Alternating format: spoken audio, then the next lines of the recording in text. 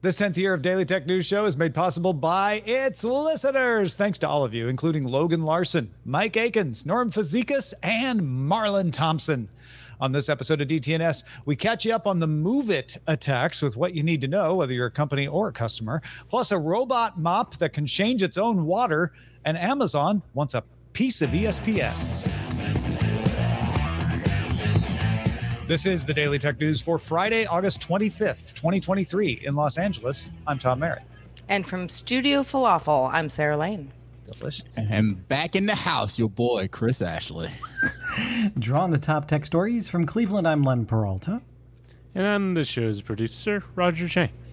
And just to clarify, I am also Tom Merritt when I'm not in Los Angeles. And Len is drawing the top tech stories and Right. he's in Cleveland. They're not the top Cleveland Yes. tech stories necessarily. th- that's always very confusing. So Yeah, yeah. So, all right, Chris Ashley, it's I'm good to have you back, Studio man. Falafel. Thank you, thank you, thank Your you. f- studio. There's nothing wrong with your studio. That's a delicious Yeah. studio right there. That's right, just- that's this, right. this is going to be a late lunch. Chris Ashley, you a falafel fan? Uh, I yeah, periodically, not my hundred percent go to, but I'll have one. You know, if it's if it's there, if it's there, I may partake. Yeah. All right, all right. Nibble, nibble. Yeah, Yeah. just reach reach right through that StreamYard window into Sarah's studio and have a bite. Uh, let's start off with the quick hits. AMD announced the $449 RX 7700 XT and $500 7800 XT, both initially coming with a free copy of Starfield. Both cards also average more than 60 frames per second at up to 1440p resolution without upscaling, and AMD claims that the 7800 XT outperforms the $600 RTX 4070. So, you know, you're getting more for less. The designs are larger, taking up 2.5 slots width in a desktop and use up to 265 watts of power. AMD also announced its latest upscaling tech uses FSR3, which will add frame generation, which uses machine learning to create frames for more sophisticated motion smoothing. NVIDIA added this to DLSS 3.0. Speaking of DLSS, there's some chatter out there that AMD's Frank's Azor is not denying that there's something in the contract with the Starfield that prevents it from supporting DLSS. He has somewhat carefully said, quote, if they want to do DLSS, they have AMD's full support, end quote. The new two AMD GPUs and FSR3 will all launch together on September 6th. MSI confirmed that the recent spate of blue screens of death, uh, uh, you pluralize that like attorneys general, I guess, blue screens of death. Anyway, if you're getting a blue screen of death because you installed this week's Windows 11 preview update, it's probably because you have an MSI 600 or 700 series motherboard. MSI wrote, both MSI and Microsoft are aware of the unsupported processor error and have begun investigating the root cause. Now, MSI basically warns its users if you haven't installed this preview, which you don't need to, uh, don't uh, until they get an update. If you have already, they've got instructions on how you can roll back the BIOS and then uninstall the update. However, Microsoft notes that some users may experience Windows automatically uninstalling the updates on its own after experiencing a blue screen of death, which is kind of a cool thing. And several users have confirmed that that indeed has happened to them. Cool. The US view on cryptocurrency a little clearer today, although it's not going to make everybody very happy. The US Treasury Department proposed new rules on Friday to make it harder to avoid income taxes if you're selling digital assets. But also to simplify those taxes. The proposed rules would have exchanges, such as Coinbase, deal with the IRS in a manner similar to a broker who handles stocks or mutual funds. So, starting in 2026, exchanges would send 1099s to taxpayers and also the IRS reporting how much customers paid for assets versus how much they were sold for. Federal taxes would be assessed up to 23.8%. That's a lot. Scientists at King's College London tested eight popular pedestrian detection systems used by autonomous cars. Uh, they used more than 8,000 images of pedestrians in the tests. Uh, so they were using images, not, not real life situations. They found that pedestrian detection accuracy was 20% higher for adults than it was for children.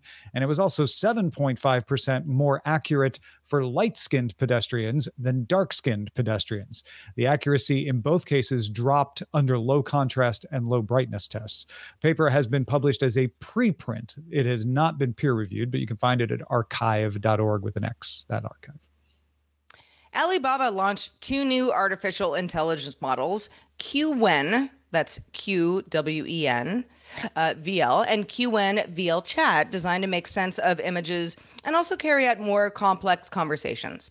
QWen VL can respond to open ended queries based on images and then generate picture captions. QWen VL Chat handles more complex interaction, such as comparing multiple image inputs and then answering multiple rounds of questions. Alibaba's new models will be open source and invites researchers, academics, and companies worldwide to create their own AI apps without needing to train their own systems. All right. Everybody wants a little piece of ESPN apparently uh, these days. What, what's been going on, Sarah? Well, so Disney's Bob Iger, uh, head of Disney, uh, he he's a talker. He says a lot of things. Uh, he raised a few eyebrows recently when he said that the company was looking for strategic partners for ESPN, since that's often sort of code for we want to sell it or sell a part of this property.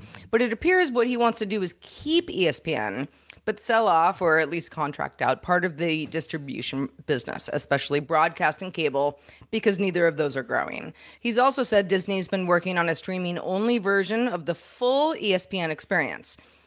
Now, if you're confused, you w- probably aren't alone. ESPN Plus exists. It's a streaming service, but it only gives you broadcasts that aren't on ESPN's cable channels. So this would be different.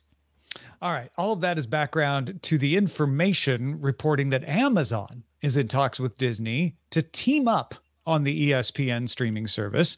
Uh, and Amazon might even buy a 30% minority stake in ESPN. If you don't know, Disney actually only owns 80% of ESPN. Hearst owns the other 20%. So it wouldn't be unprecedented for a minority stake to be sold. Uh, and of course, if they were to team up in any way, ESPN's streaming service would be offered through Prime Video uh, once they get that full ESPN streaming service. Sources say the price on ESPN on its own would be expensive, somewhere between 20 and $35 a month. Most of this is not surprising. Apple, Google, Microsoft, Verizon, and T Mobile are all rumored to be in talks about ESPN in some way or another. Uh, and Disney would like to distribute an ESPN streaming service as widely as possible. Uh, in fact, Wedbush securities analyst Dan Ives is convinced Disney's going to sell ESPN, not to Amazon, though, but to Apple. Uh, so the, it is now the hot commodity. What's going to happen with ESPN? Is Disney going to sell some of it, all of it, part of it, none of it? Chris, what are your ideas about ESPN's future? Well, I could see them selling all of it, but overall, I, I find this to be totally silly uh, on the part of Amazon and the rest of these companies, for that matter. And the reason why is, you know, new media is really stepping up. I mean, I haven't watched ESPN in probably the better part of five years. I just don't. I, I don't like anything about them anymore and uh, you know pat they they fired what 10 15 hosts just over the last uh, two months. Then they bring in pat mcafee for 80 million dollars. Um, and how did pat mcafee get popular? By his new media show that they bought into.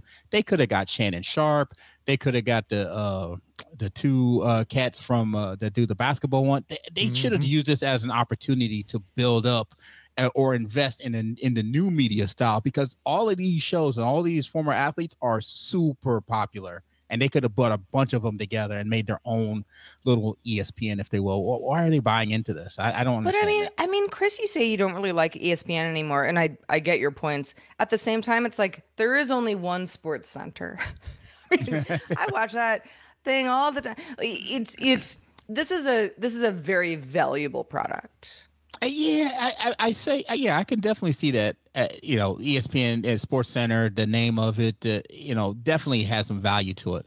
But if you're spending all this money, I, I would assume you'd be looking to look towards the future and how long is ESPN and Sports Center going to be valuable versus what is worth to them today? Yeah, when there yeah. is a game you want to watch and it's on ESPN, Chris, what do you do? I, I don't watch it. Seriously, Come on, for real. I'm being Really? dead serious. I, I rarely, I don't watch a lot of football anymore. In fact, I was just talking about on the show, uh, uh, SMR this week, how I had to repurchase Hulu Live so my wife could watch uh, NFL because I stopped watching it as much. Uh, and it, it just, I just don't really watch ESPN. I don't watch a lot of uh, sports anymore.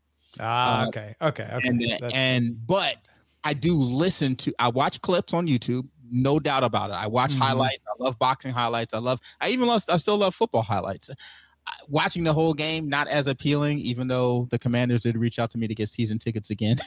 but uh, I don't understand. Like to me, this is a perfect opportunity because ESPN is definitely losing viewers. This is the perfect opportunity to take advantage of where people are shifting their attention to. So my point was going to be, and I think it still is, uh, that the valuable stuff on ESPN is the sports, the sports itself, the games, and I think that's what Iger is seeing is like we will have we have the games, we have the NBA, we have the NHL, uh, we have Major League Baseball, we have Monday Night Football. Like that's the valuable part, and how do we capitalize on that? Granted sarah you're absolutely right. Sports center is also incredibly valuable. It's, it's it's a heritage brand and everything but all of the rest of it is kind of is kind of interchangeable. And so the streaming service value is i could pay $20 $35 a month and get all those games. Espn has the rights to a lot of the best sports on television and i feel like that's what's important about it. Uh, on the other hand, Chris, you're not alone in being a someone who just is like, oh no, I, I watch sports by watching the highlights Yeah. uh, on YouTube later. And I I, think they need to take that into account. Let's all be honest. That's that's what we all want. Yep, You're like that's that of the new one thing. moment that everybody else already saw. I want to see it. You know, The red- the red zone online real channel- easy. The Red Zone channel from DirecTV was absolutely genius, especially at the height of fantasy sports. Just clicking over to the team that's about to score constantly. That kind of begun for me the more uh enjoying like the highlight part of it versus just having to sit back and watch an entire game. Yeah. And you can keep naming sports. I, I, I named the biggest ones, but there's other sports that people care about that ESPN has. I, I think they are going to make sure that they they protect those rights because those are what's valuable. Sure. And I think I think if they're smart, they would get in on that highlight reel stuff and start locking that down too, and make that part of this offering as well. I miss bowling. Who has Well, bowling the now? next time uh, you have a bowling party at your house, Chris, uh, you might uh, have a mess to clean up afterwards. Oh, who true. bowls in their ho- ha- house, right? Switchbot uh, has introduced an autonomous vacuum slash mopper called the Switchbot S10. If you're saying, all right, well, what does it do? It's battery powered, uh, also has a water station connecting to your in house plumbing. So maybe it would be next to a sink or a washer and dryer that you have in your house. So the robot can drain the dirty water and then refill with clean water autonomously. That's the idea anyway. When the S10 docks with the water tank, it also charges the water station's batteries from its own. The charging dock uh, is sold separately, but can also dry and mop as well. So it's not necessarily just everything that has to be wet, but it, that's sort of the selling point. Um, it also empties dust into the charging dock. So SwitchBot says you need to empty the dock's dustbin around every 70 days. And you might say, oh, that's not that often.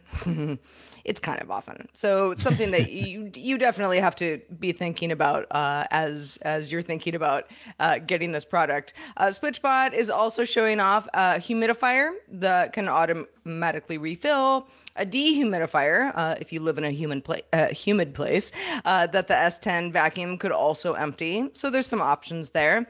Now you might say, okay, how much? I'm interested. All these products are going to be showing uh, shown off at IFA in Berlin next week. The event runs from uh, between September 1st through the 5th. Uh, we'll probably get price and availability at that point. The Verge, uh, that took a spin with the SwitchBot S10, said this is probably going to be a upwards of one thousand dollars or more product. Makes sense. Kind of a big Yeah, deal. because yeah, you've got the the battery dock which it's not sold separately. It's just separate from the water dock. So they don't have to be next to each other. Ah. And then you have the bot itself, right? So you've got there's a lot, there's a lot of parts there. It's it's gonna Yeah. be pricey. Well, and before the show, both Tom and Chris, you, you were saying like that just wouldn't work with my laundry room. It know, wouldn't- either like they're down some stairs or it's just otherwise not accessible. I mean, I think a lot of your home layout will have a lot to do with whether or not this is a great product for you or just something that is expensive and won't work. Hundred percent. First off, um, you know, I have been secretly wanting a uh, one of these type of devices for years. I just can't pull the trigger on it. It's so expensive, and you know, I'd rather hire a clean lady than you know drop that loot. But I want one, and eventually I will get one. And I love the idea of this thing because it solves a problem, right? If you have something that's automated, the less you have to interact with it, the better automation it is but it's just not practical, especially in any house that I can think of, unless you live like in a Rambler or something. Um, but uh, my my you know my washing machine and dryer are in my basement. It ain't climbing the stairs to come up to the middle floor, which is where I mainly want to use it and where my kitchen is. Also, I do want to move my washer and dryer, but I don't want to move it to the middle floor. I want to move it to the top floor where the bedrooms are, so we never have to lug laundry. Again, not you know not going to solve a problem for me there. The other thing I'm thinking of is like who whose house layout really is has an option to not only plug in the uh the, a, a water spout to it, but then you figure drains go down, not up.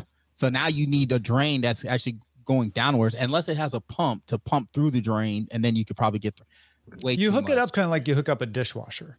That's that's the way it looks in that kitchen thing. So you're you're plugging it into the drain the way a dishwasher would plug into the drain. horizontally, I guess. Yeah. Yeah. Okay. Eh, But so then it must has to then it has to sit in front of your sink. They show a version of a sink where somebody doesn't have a cabinet under the sink, and I'm like, how many people? How many people do that? The- uh, and then they show a version with cabinets, and the water recharger is sitting in front of the cabinet. And I'm like, that's a non-starter. I'm Not gonna kick that happen. all the time. exactly. So I'm with you, man. I I love this idea of like, oh, I don't have to ever refill a tank. It just automatically gets the water. But That's I'd it needs to do. almost rather go through the trouble of running piping to it where I want it to be rather than trying to jimmy it in by the dishwasher or the sink. Hundred percent. If I was to do something like that, I would definitely have to run some plumbing to it, and uh, you know, and it would not. And the spot it would have in my house, at least, I would have to put it. It w- it wouldn't be an easy run. You know, it's like down in the corner because you want the idea of these things are to be out of the way, right? When it's not Yeah. in use, and then it can sneak out, you know, at Mhm. night and do its thing. Uh, and then, of course, it has to maneuver itself around my dog as well as the uh, grocery There's all bags that are under the sink. sure. Yeah, yeah. I mean, as a person who I, I I still use my Roomba that I reviewed for Live with It uh, years ago. Love that thing, but it also it requires a lot of foresight, right? It's like, how long a- am I going to be gone? Uh, put some chairs on top of the you know coffee table so that you know the Roomba can do their thing. You know, you're introducing water into all of this, and then you, like you said, Chris, it's like, well, my washer dryer in the basement, like, what what, what am I gonna just you know tear apart my house you know for something like this it all is a great idea in theory for the right layout Yes. Right. Yeah. Yeah, and if you if you're someone who doesn't have cabinets under your kitchen sink, uh, or keep anything else there, there's no trash can, there's no, No trash can, boxes, no soap. Yeah. no it's just, it's p- Yeah, purely- then- it's just nothing then this is Tom. gonna work i've never thought of putting anything there This is gonna work great for you then. Yeah. Oh, Um, great point. We can build a house around the vacuum. And and I do think it's smart that the battery charger and the vacuum are separated. Yeah, like it, definitely. it goes to the water pump. It charges the water pump, so you don't have to keep it charged. There's a lot that's elegant about this. We should we should give it credit for that. sure. Um, the fact that it dries the mop for you at the battery charger station, that's There's there's Yep. some good stuff in here. It's just yeah, we're all we're all getting stuck on like, okay, but how am I really going to hook this up to the water? My So- current layout won't support this. I hate And it. And to be Yeah. fair, you don't have to hook it up. You can just fill it up on your own. So we should mention that. you as could do that. You yeah. could- But then Exactly. that then And it's just like I a bunch. think- there's a bunch of other things that do that. So then I it's think not that's a lot of thing. Uh, a lot Yeah. of things that people don't necessarily get about autonomous cleaning products is like you can do a lot of manual things, and this Yeah. can still be something that is great for your overall, you know, Yeah, yeah, yeah. Uh, Oh, right. cleanliness of the house. Yeah, this is just maintenance cleaning, not Yeah. not- yeah, yeah. Yeah. Sure. Uh, well, folks, uh, real quickly, I want to remind you that we have a show on our YouTube channel called Top Five, Tom's Top Five, because it's me telling you five things that Roger and I put together every week. This week, surprising projects that Steve Jobs and Steve Wozniak did that weren't Apple. Uh, we all know they did Apple and they did things together at Apple, but uh, they did things together that were not Apple. Uh, and of course, some things uh, in, independently of each other that are significant as well. And we count down five of them. You can go catch that right now at youtube.com slash daily tech news show. TechCrunch has an article up today discussing the impact of the breach of the MoveIt file transfer software. We have, we have not covered this a lot. We've mentioned it here and there. Uh, the numbers are big. More than a thousand companies affected at this point, impacting more than 60 million user accounts. Bleeping Computer had an article Wednesday this week focusing on what happened, what data was accessed. So we thought uh, we'd take this Friday to kind of give you the the thousand foot view of what is going on with MoveIt. MoveIt is a corporate file transfer tool from Progress Software. So they provide the tool that lets corporations uh, manage moving files. Which you know, if you're an individual, you're like, why do I need a big tool for that? If you're an enterprise and you got lots of files, this is a good thing. Uh, however, it is managed by Progress Software, which, as you'll see, is part of the problem. On June 6th, a ransomware group claimed responsibility for a breach of the tool that had apparently been going on since May. The group said it discovered a vulnerability and was able to access IT environments and sensitive data at companies that used MoveIt. So they weren't doing the ransomware thing where they lock down and encrypt a system. They were doing the ransomware thing where they say, We stole your data and we'll publish it on the internet if you don't pay us. The data appears to be personal info about employees and customers. It's unclear what exactly they have. Obviously, things like email addresses, maybe uh, postal addresses, possibly social security numbers or other government ID numbers. It's hard to tell. The vulnerability itself is what's called a supply chain attack. And this is what I was referring to earlier that the problem is that it's managed by a company. So, what happens in a supply chain attack is you breach the code in the software that's supplied to the clients and then you can exploit all the clients. You only have to breach once because it's getting supplied to everybody. Uh, for example, in this breach, Zellis is a payroll provider. The attack on MoveIt allowed the attackers to access Zellis, which allowed access to Zellis's customers' payroll info. This particular vulnerability was a zero day as well, meaning it was not previously known. And so it wasn't, oh, people should have patched. Nobody was aware of this until it started being exploited. And it appears the attackers knew about the vulnerability as far back as 2021, but did not exploit it in a noticeable way until this year. It was a SQL injection. If if you know what that is, basically it's a it's a way to inject data into a database request that then causes unplanned behavior, which can be exploited for the unauthorized access. In this case, the attackers installed a backdoor in MoveIt that let them download data from MoveIt's clients. All right. So we know how it was done. We know what it was. We know it's had a wide impact. Here's my question for the panel. This is a large attack, but I see a lot of hair on fire headlines saying it's the worst attack ever. And I'm not sure how bad it is. I'm not saying it isn't bad, but we don't really know what data is out there. I can't find a clear idea of that. And it does not appear that the attackers have revealed any of the data. So, Chris, I mean, how do we do you think assess that- this? Do you think that's why it's uh, perceived as perhaps the worst one ever? Because everyone's going, we just don't know. So I think it's the the uh, well. First of all, we always like to say every breach is the worst one ever because that's good headline writing. But Right. but but also it's large, sixty million user counts. That that's a lot. Yeah. Yeah. it, I think that the headlines are probably over overzealous because they have no idea what was actually taken, but that doesn't mean that the headline is incorrect. And so, as a guy who professionally works with software, um, you know, this attacks like these have do definitely have reverberating effects. Um, so more and more as we go through and we, you know, we try to sell software to, to companies and stuff like that, we're starting to get questioned more on what is our pen testing uh, plans? What is the re- we have to actually share um, the results of those pen tests uh, a lot of times uh, what is the scheduling for these? And so you typically when we started out these type of things we would do it against certain pieces of software. But now you're you're going to really have to start testing it against all your software. So imagine now the costs are going up because you need a team that's managing these things and, and then can present this type of information in white papers or whatever to custom to people and then on top of that it takes time to run these things uh, and then it, you know if you're holding up a release because something didn't pass or you mm-hmm. have to come up with a workaround or uh, or basically a time frame as to okay this is not as important but we have to let people know that this exists so i, I think this is going to as these things continue to happen um, you're definitely going to have to uh, costs are going to go up for people.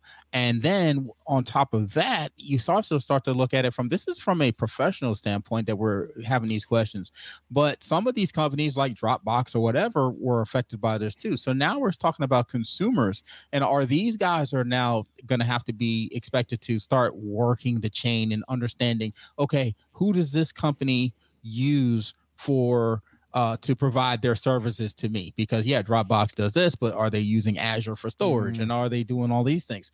And no there's no way that that's going to happen. So i i think this definitely has a massive effect and it is and it's going to be a problem um, because now you start digging into the trust of these organizations and you know does this then impact uh, a lot of people's move or trust in cloud operated uh, applications? So this is this is still pretty big yeah. No, that's a good that's a good explanation. That that kind of clears it up for me to think like, okay, it's a red alert. We may not know how deep the red is, but it's a red alert. Like even if it's just emails uh, and and and uh, and home and mailing address, uh, the the scope of it is so big that it's going to be costly. And as you pointed out, Sarah, it could be worse. There there could be other things in there that we're unaware of. I do wonder how much bluffing is going on since they get, they've passed several deadlines of if you don't pay us by now, we're going to publish it, and they haven't published it. So, yeah, I, there, there, could be a bit of that, right? But yeah.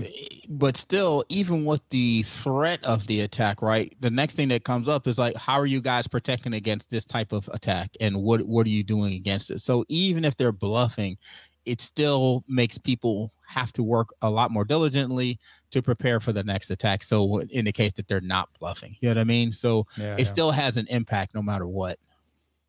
Well, Bleeping Computer had a really good article going into the like, you know, you need to move to zero trust. Here are the things you sure. need to do. Um, uh, if if you are in a company situation, uh, go go check that out. Uh, we have a link to it, or you can just go to bleepingcomputer.com. Yeah, definitely more companies are doing that too. All right. Uh, well, I think it is time to see what Len Peralta has been jo- drawing for us today on the show. Len, what's what's at the tip of your pen? Well, you know, one of the great things about working on DTNS is sometimes I get to put two stories together. It's sort of like the Reese's Reese's uh, peanut butter cup of ah, art. Yeah. So my question is, what if the uh, S10. I'm trying to remember the name. The SwitchBot S10, mm-hmm. uh, and uh, mixed with the MOVEit uh, uh, breach, oh, no. what would happen? And I think you got your SwitchBot in my MOVEit. you get this right. This is uh, the MOVEit Bot 10, the personal data quicker sucker upper. Oh my and, gosh, uh, it's uh, it's kind of going around just grabbing pin numbers and passwords and bank info and private pics and all that stuff. This is Absolutely. It is the most trusted bot in exploiting your client's vulnerability. So, Absolute genius. Absolute genius. thank you. The move it A bot. supply yeah. chain bot sucker that you don't have to recharge. Um, yeah. so So, if you're into Perfect. like if you like these mashups and everything else, and if you want to see, uh, if you want to get this for yourself, you can get it right now at my Patreon, patreon.com forward slash Len, where you can, uh, if you're if you back me at the DTNS lover level, you get it right away, or you can go to the old fashioned way. Go to my online store, lenperaltastore.com, where there is not only you can find that piece, but all kinds of other DTNS pieces and other commissionable art as well. So check it out. Um, it's right there for you at your fingertips. Well, Len, we're happy to have you on the show. I missed you the last couple of weeks. I missed you too. too. Nice Um, be back. I am very happy to have Chris Ashley on the show as well.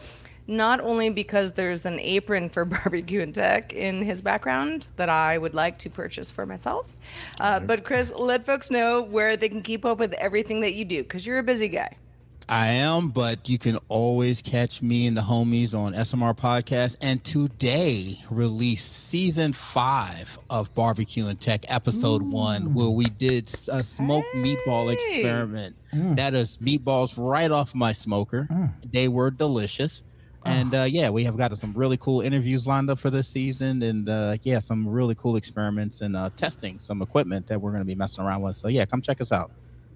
Always a great listen. Uh, I was so happy to have that in my ears this morning. So I'm, I'm very excited. Barbecue and Tech is back. Go check it out, folks. Uh, patrons of DTNS, stick around. We have more show for you. Good Day Internet begins right now, and it's the premiere on Friday of GDI Debates. Oh, We're going to talk, take on the great questions of the day and debate their merits, like boneless wings. Are they just chicken nuggets? That is our first question. Stick around when we debate it next. Just a reminder that DTNS itself is live Monday through Friday at 4 p.m. Eastern, 2000 UTC. We do it Monday through Friday, y'all. We'd love to have you join us live if you can. More information at dailytechnewsshow.com slash live. Have a wonderful weekend, everybody. We'll be back on Monday doing it all again. This week's episodes of Daily Tech News Show were created by the following people. Host, producer, and writer Tom Merritt, host, producer, and writer Sarah Lane, executive producer and booker Roger Chang, producer, writer, and co hosts Rob Dunwood and Megan Maroney, video producer and Twitch producer Joe Kuntz, technical producer Anthony Lemos, Spanish language host, writer, and producer Dan Campos, science correspondent Dr. Nikki Ackermans, social media producer and moderator Zoe Detterding. Our mods, Beatmaster, W. Scottus One, BioCal, Captain Kipper, Steve Guadarrama, Paul Reese, Matthew J. Stevens, aka Gadget Virtuoso, and JD Galloway. Mod and video hosting by Dan Christensen. Music and art provided by Martin Bell, Dan Lueders, Mustafa A, Acast, and Len Peralta. Live art performed by Len Peralta. Acast ad support from Tatiana Matias. Patreon support from Tom McNeil. Our contributors this week were Justin Robert Young, Shannon Morse, Scott Johnson, and Chris Ashley. And our guests this week were Huyen Tue Dao and Charlotte Henry. Thanks to all the patrons who make the show possible. This show is part of the Frog Pants Network. Get more at frogpants.com. Diamond Club hopes you have enjoyed this program.